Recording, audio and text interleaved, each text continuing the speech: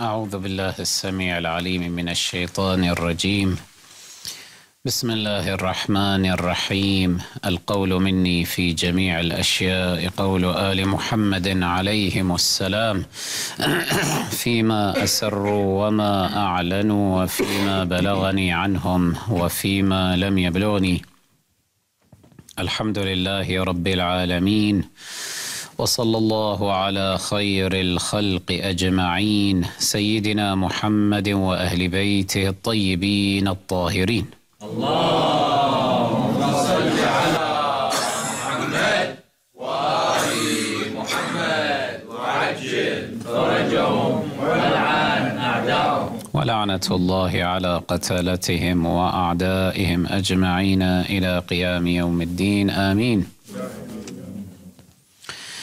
هنالك تصور شائع عند الفريقين أعني المسلمين الشيعة ومخالفيهم. أن عليا أمير المؤمنين صلوات الله عليه أكرم عائشة عليها لعائن الله وأجلها لمكانها من رسول الله صلى الله عليه وآله. وأن آية ذلك يوم غلبها في فتنة الجمل فقد أرجعها إلى المدينة معززة مكرمة. هذه العبارة تسمعونها كثيرا حتى على بعض منابرنا المنتسبة إلينا ويا لبؤس أصحاب هذه المنابر أو معتلي هذه الأعواد. إذ لم يحققوا ولم يبحثوا.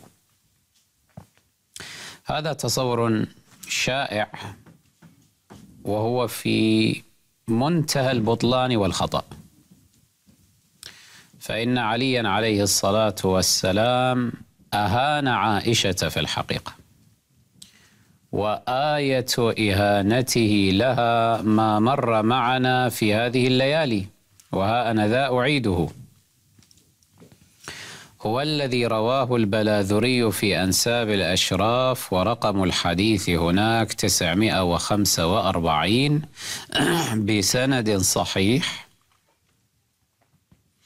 عن ابن حاطب قال أقبلت مع علي يوم الجمل إلى الهودج وكأنه شوك قنفذ من النبل.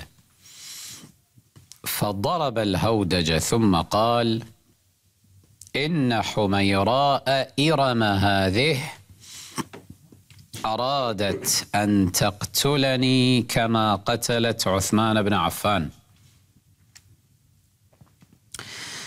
هذه الرواية طرحناها على بساط البحث في هذه الجلسات في هذه الليالي وفتحنا المجال لبقايا أبناء عائشة لمناقشتها والتداخل معنا في ذلك فما جاء أحدهم بطائل كما سمعتم ورأيتم. فهم ما بين لاعب لعبة الأسناد وما بين قافز على الأصول العلمية في الاستدلال. محط بحثنا في هذه الليلة إن شاء الله تعالى لن يكون هذه الرواية مع أنها كافية في المقام.